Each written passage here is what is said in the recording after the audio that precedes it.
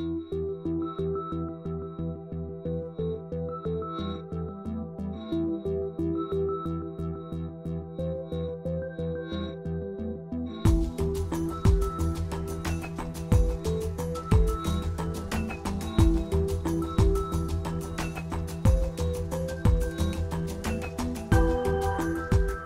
my name's Keith Platts. Uh, I lived in Barwell when the, the meteorite came to visit us on Christmas Eve in 1965.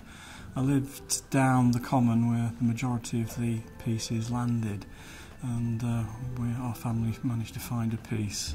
We'd been out to visit my grandma over in Donington le Heath on the, the day of, of Christmas Eve 1965. When we got back, there was obviously there was a few people mentioning that uh, things had happened, but because of proximity of Christmas and only being seven at the time, it, uh, Christmas took the priority at the time.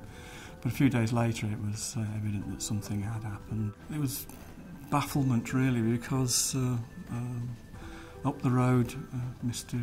Mrs. Crow's house uh, on the corner had been had a piece of the meteorite bounce on the road and through their front window. And so I'd called the police out to investigate the hooligans that would have done this, but the piece of rock was quite hot, as you can imagine. Uh, so they, uh, they, they were very baffled. And again, some friends up the road had uh, a piece of the meteorite hit his car in the drive, and the, uh, he was a bit annoyed with the fact that he'd got a dent in his car. And so threw the piece of rock that had caused the damage into nearby waste ground and was never seen again. My father found a piece on his allotment, which was uh, the old cooperative field about 50 yards away from where we lived at the time. He was went down to pick some Brussels, so he um, when he got there he found a hole.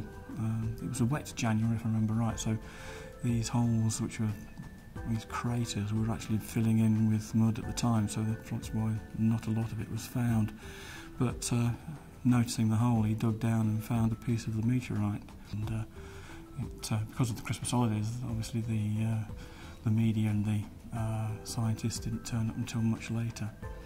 The I can remember, but a few weeks after the event, uh, there was TV cameras and press people around and then the, the scientists turned up. I remember Patrick Moore coming to the area and uh, uh, with, the, with the cameras again and uh, having the films taken. The Science Museum were put out a reward for the pieces of meteorite because it was they, they reckon it was a, a significant size before it broke up and then the pieces landed around the village of Barwell and that um, the reward, I think, was something like 10 shillings an ounce in old money. So um, a lot of the pieces were bought up by the British Museum, but my father decided that um, he would go. There was a, a, request by the Leicester Museum for pieces, and so he uh, said that he would uh, sell it to them instead of the, the British Museum.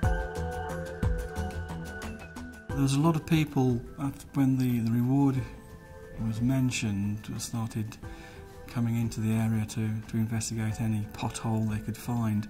And there was, there was some significant holes, usually most of the pieces were about the same size, so that the holes, because the ground was wet, the holes were much the same size. They were only normally about a foot across, if that. And the, the pieces had gone down a couple of feet. Uh, but again, the, the, weather had been bad, so the uh, most of these had been filling in. But uh, I think some of the holes were quite evident around the around the, the recreation ground adjacent to the common road and uh, up by the garage for a few years. As a child, this sparked my interest in astronomy, although uh, it's sort of laxed over the last few years. But when the next year or so, I've, I managed to get hold of a, a small telescope and track the stars, but I never saw another one come down.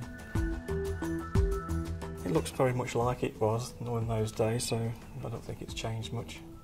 But uh, yes, it's, it's, a, it's a great pleasure to be holding the piece again.